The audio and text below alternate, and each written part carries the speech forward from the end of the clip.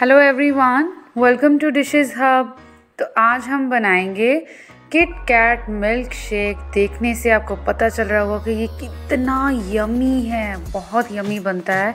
बच्चों से लेकर बड़ों तक सबको बहुत पसंद आता है। और इतनी आसान रेसिपी है कि मिनटों में ही बन के तैयार हो जाती है। तो आप लोग इसे ज़रूर ट्राई कीजिएगा, ये बहुत टेस्टी बनता है। तो चलिए हम बनाने से शुरू करते हैं। ये इंग्रेडिएंट्स हम यूज़ करेंगे इसे बनाने के लिए। आप नोट कर लीजिए। तो सबसे पहले मिक्सर जार में हम दूध डाल देते हैं।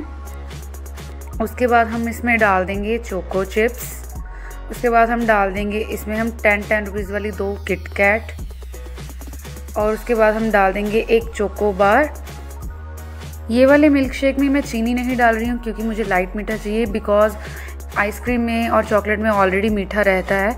अगर आपको अच्छा मीठा मिल्क शेक चाहिए तो आप इसमें दो चम्मच चीनी भी ऐड कर सकते हो।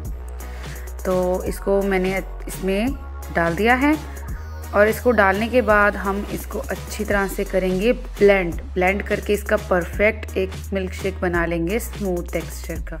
तो इसको हम ब्लेंड कर देते हैं।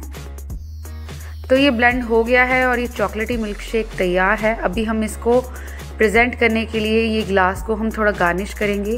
हर्शीज़ का चॉकलेट सिरप आता है, रेडीमेड टेन रुपीज़ का पाउच भी आता है। तो वो सिरप से मैं इसको इस तरह से कवर कर रही हूँ, इसको गार्निशिंग के लिए। देखिए, इस तरह से मैंने सभी और ये सिरप लगा दिया है। उसके बाद हम, ये जो हमने मिल्क शेक बनाया है, ये हम इसमें डाल देंगे। टेस्ट के साथ साथ अगर प्रेजेंटेशन भी हमारी अच्छी हो तो उसे देखते ही उसको पीने का मन करता। तो अभी हम इस पर ये थोड़ा सा झाग डाल देते हैं।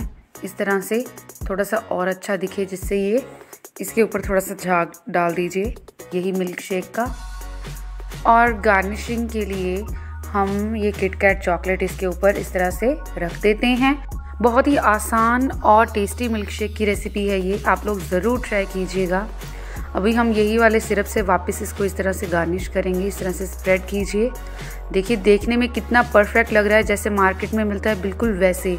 और टेस्ट में तो ये मार्केट वाले को भी फेल कर दी, इतना टेस्टी है। आप लोग ज़रूर ट्राई कीजिए और चैनल को सब्सक्राइब भी ज़रूर कीजिए। तब तक के लिए बाय